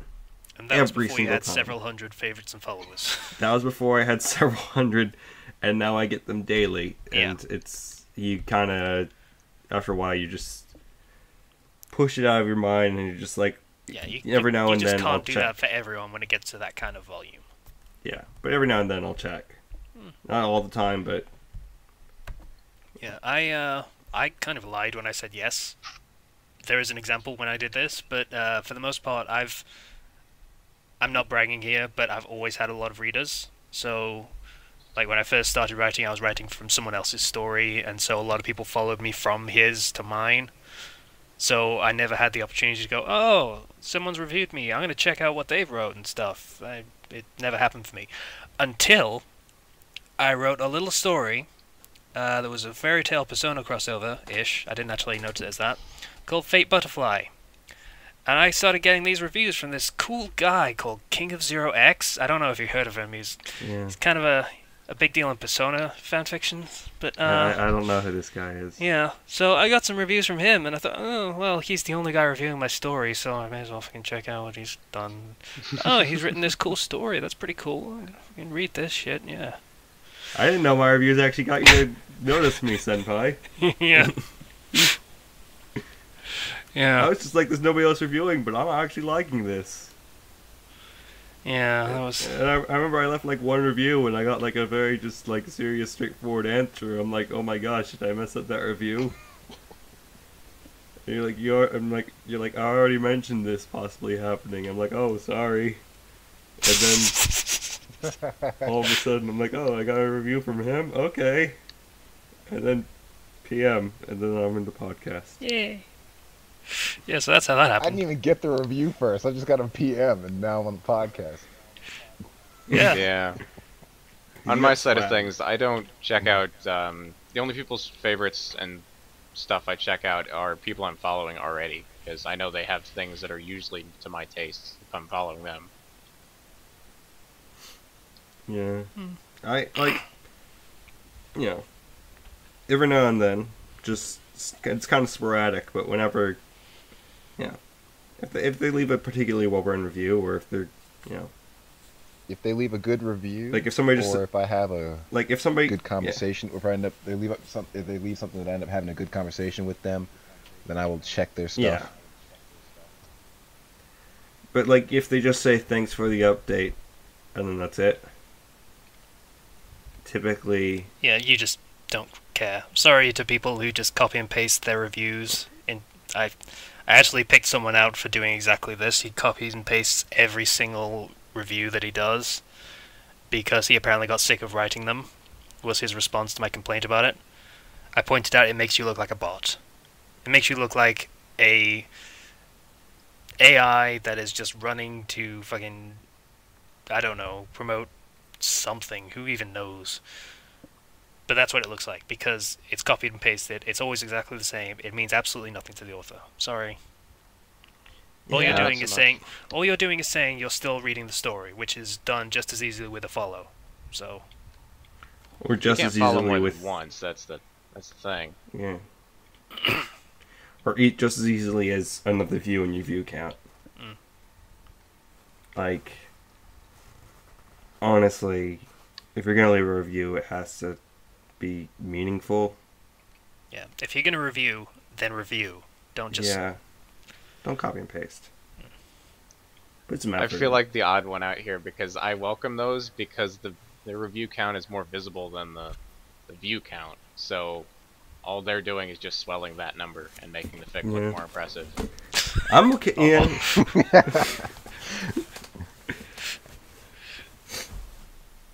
think Slicer might have some inadequacy issues. Yeah, okay. oh. It's okay, Slicer. Uh, but yeah, you know, if you're gonna leave a review or you're gonna leave a favorite or a follow, you know, I might check you out. On the flip side, if um if someone I follow or has written an amazing story that I really like and they review, I actually absolutely just sort of get into a You giggle mark fit out- and go, you mark out. Oh yeah. Yeah, I've talked to Slicer about a few of them actually. Fucking Lord's Fire and uh, Dog Carol reviewing some of my stories. That was great.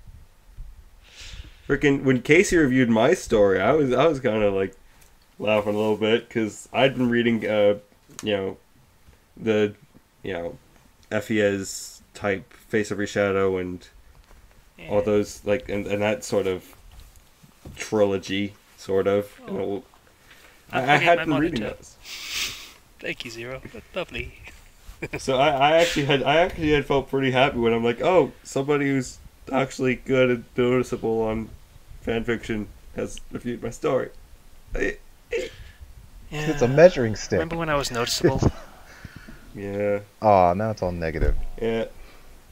When I first started I was barely anybody man like my story like freaking I was super tiny and the story grew way too fast I was always somebody, and I don't know why. But- Yeah, you just kind of popped up out of nowhere and wrote like 60 chapters of 700,000 words or something. Yeah, that was pretty crazy. Yeah, you were kind of nuts. It was awesome, Still are. but it was kind of nuts. So yeah, leave a review that's interesting, and you might discover that you can actually develop a sort of you know Network. Rapport. yeah, uh, like a relationship with the uh, author, because we're just It's people. a community, dude. yeah, Yeah. Also, my word was better. Everybody love everybody. yeah. Um, Buffalo. So.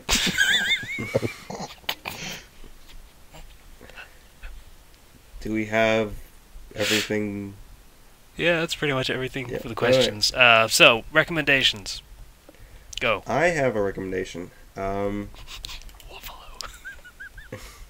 it's called Alternate Worlds. Alternate, not ultimate. Alternate Worlds, and it is a Akame ga Kill fan fiction. And I like I'm liking this already more than the canon because what happens is um, Esdeath, who's the uh, the general of basically the capital's armies, like the military general. Um, in canon, she does kind of become infatuated with Tatsumi, the main character, because he fits her taste specifically. Well, this starts out with um, she ends up being on her way to go with war with the tribes in the north. She ends up chasing a member of Night Raid into his village. And the member of Night Raid dies, a la Green Lantern style, and gives Tatsumi his uh, Teigu. Which is the Um, t- tells him to keep it safe from the uh, his Imperial arms, rather his weapon, and tells him to keep it safe from, you know, Esdeath, and to hide it. And uh, Tatsumi totally gives it to her because she's super scary and super powerful and is like the most powerful character in the series. Except he tries to give it to her and it ends up bonding to him, so now he has a Teigu from the start. And she ends up really liking how like just strong he is and ends up taking her wi- taking him with her. And Esdeath is kind of a really is kind of a monster. She's can be sweet, but she's horrible. She loves torture. She's total sadist. And she's go- they're going to war and people are dying and they're murdering people and it's super it, it's really mature. It doesn't shy away from the horrors of war rather. And I really like it. Like, you know, Casey, you were saying one of your main complaints with Akame ga Kill was the lack of uh of just sort of they kind of strayed away from the whole war and you know the whole pure method of assassination. Well, this one is he basically conscripted conscripted into the military against his will, and he doesn't like it. He doesn't like anything that's going on. He's kind of rebelling in his own sort of way at sometimes. For It's really record, good. It's really well written. for the record, I didn't say pure. Yeah. I absolutely did not say that. Just to clarify. Yeah, I, I, I'm paraphrasing, Mm. but Wait, Um, wasn't his entire yeah. thing from the start of that series to get into the army anyway? Yep. Yeah, but he's he's realizing this was a bad idea because he's It on the front take long. lines. Yeah, he's he's on the front lines, and his ideal his idealism is slowly fading, and you can kind of feel him kind of dying inside. And it's kind of sad, but he's still like got some of that old fire in him, and he's still kind of rebelling in his own ways. Like he's not strong enough to like take her down or anything, but it, it's really cool with the character development and the circumstances and just the whole war going on and how it changes just little things. But yeah i like it. It's like the most uh, favorited and followed story in the whole area that whole category because ga Kill's fairly fairly New. new in terms of fan fiction because most people don't even write fan fiction until the anime comes out Not usually, so, yeah. But I enjoyed it. It's only four chapters right now, but the updates weekly, so it's nice. Okay. Anyone else? Slicer? Uh, yeah, I got nothing this week. Okay. Yeah, I got one. It is a familiar of Zero fic called Enslaved. And Ooh, this is yeah, gonna you know that whole summoning ritual thing? How whatever you summons, you're familiar and you gotta do whatever you say? Yeah, it's kind of played straight here. Um, Mm-hmm. Mm. there's very there's absolutely nothing humorous about this fic at all. Um, Saito is summoned, pretty much figures out right off the bat he's a slave, straight up. Doesn't even beat around the bush about it. Um, and fortunately, fortunately, Louise isn't like happily trying to beat his ass or anything. Um, eventually, quickly in the story, he does manage to get Derflinger, the talking sword, and it is actually intelligent right off the bat. So it's able to inform him, hey, dude, guess what? You're a slave. And um, it pretty much, Derflinger pretty much winds up manipulating him into, okay, if you're not a slave, if you really don't want to be, because because of the runes, he's kind of has a soft spot for Louise Saito, and he thinks he wants to stay. Mm. And Derflinger's like, okay, well, if you really think that you want to stay, leave the school. If in within one month you still want to come back, I'll go, we can go back and I won't say anything else about it. He does not do that. He ends up being a mercenary and ends up fighting a war in Germania, and it's just weird. It's a lot of stuff out of the way. Louise ends up out of the school and everything. It's a really good story. Um, That sounds really good, actually. I would Yeah. definitely recommend giving this one a look if you know about Familiar Zero. Um, because everything you don't like about it, like if like Casey in particular, because I know you don't like this. What is it you don't like in particular about this fandom? I have never watched or seen anything of it. You never so heard anything about it at all? the concept, just in general, bothers me.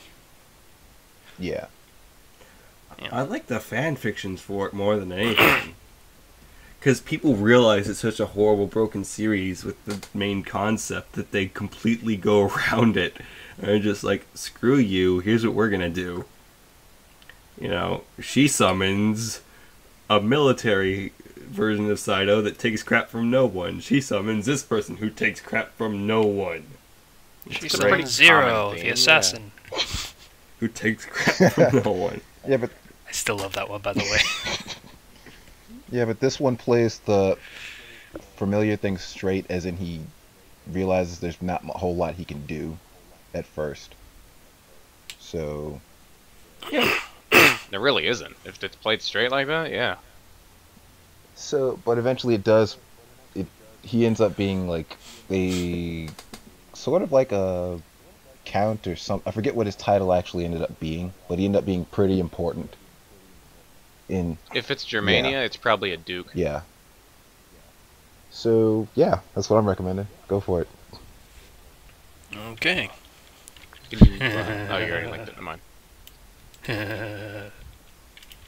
What are you laughing at? so, I suggest everyone click on this immediately. Oh wow, you actually linked it My re- before you actually said something about it without being asked. Okay. My Yeah, recommendation okay. is That thing. Loving Good for Bad by the Prince of Pop.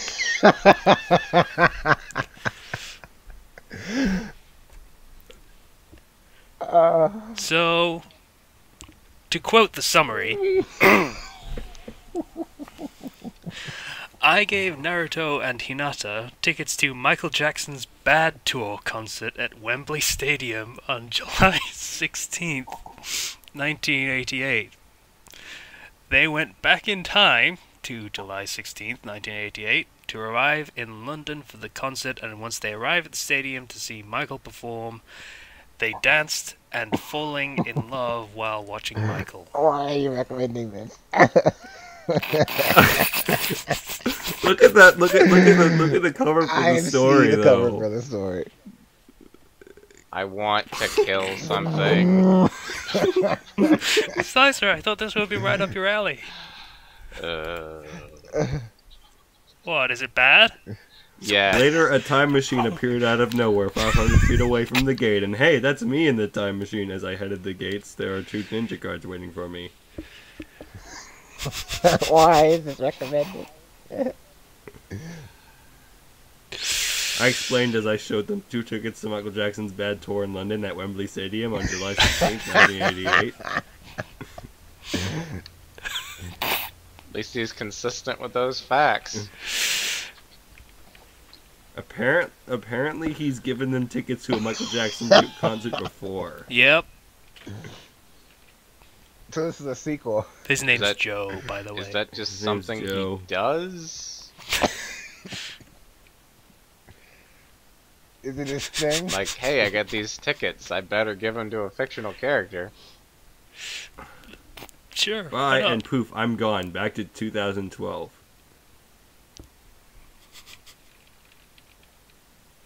I love this thing. This is.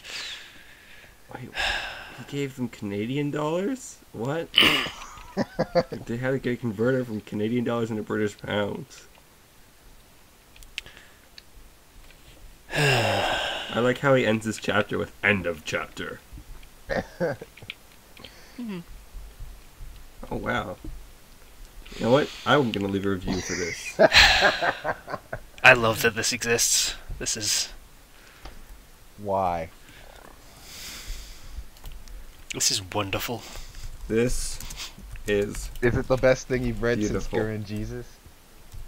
Yeah. thank you very much for writing this.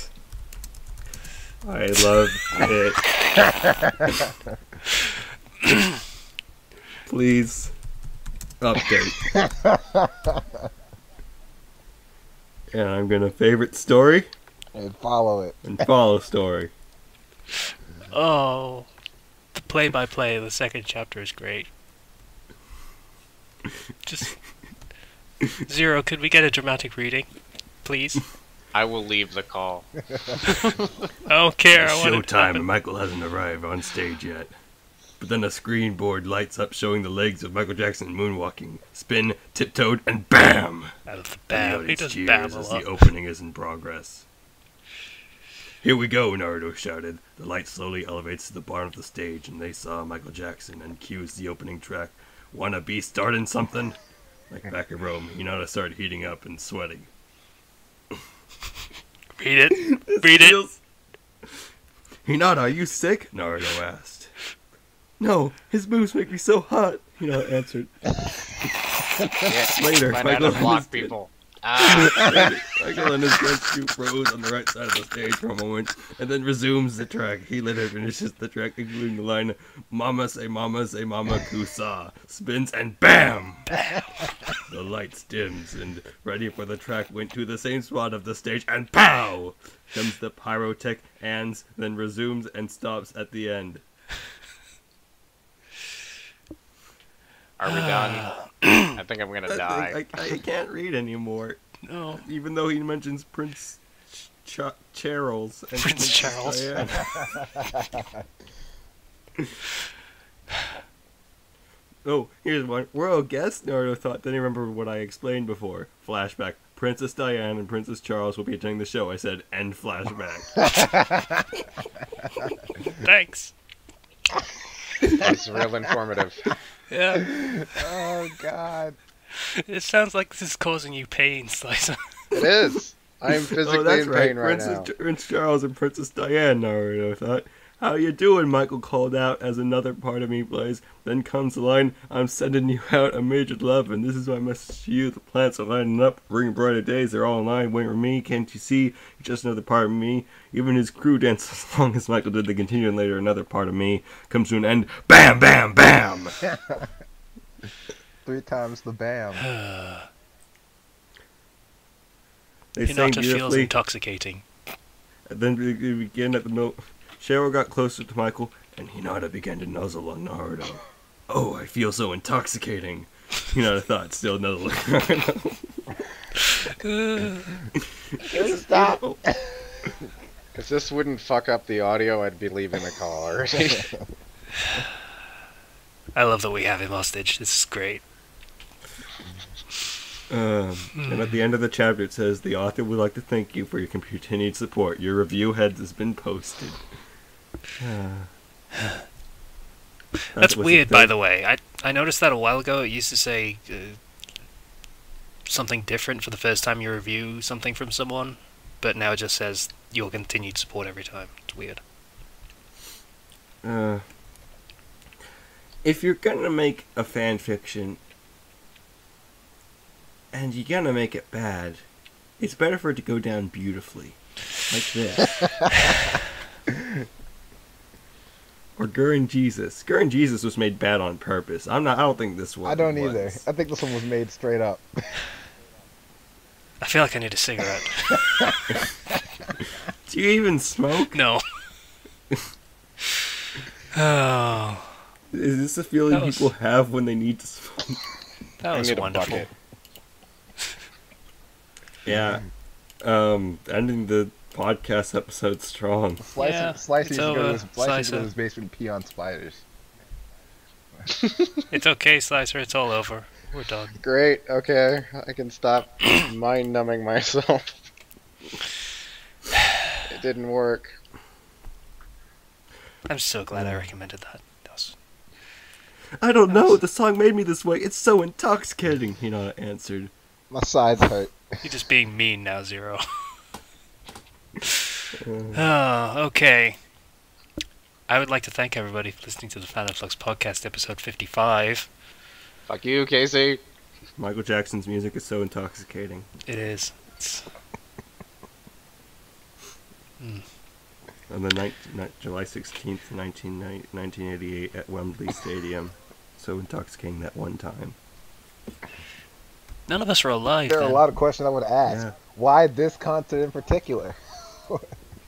because the person has been to that concert before. Yeah. also, it's being released apparently on DVD, or was in 2012. To which my next question is: Did they just watch the DVD and just fucking write to it? Probably. Probably. I yeah. like. I, li- I liked the use of flashback in this I like, chapter. I like the use of it was very in depth and it was very thematically appropriate. I like the use appropriate. of onomatopoeia It was. throughout the fic because I needed to know when that bam was coming down, dude. Bam! Pow. I feel like a Michael Jackson conk would read like Batman with bam and kazow and. That's bang it. I'm out of here. Bye. okay. See ya. Alright, so if you would like to get in contact with us, you can do so through the Blogspot page of the comments, or the YouTube channel through the comments. Probably better not to do the fucking fanfiction profiles, if that's alright. You can use I. I always check my profile, so Yeah, you're good. if you can don't do, but me. don't expect assurances that we'll respond. We're more likely to respond the other ones. Uh, once again, I would like to thank everybody for listening to the Fan Flux Podcast, episode 55. Bye now. bye. Jamona.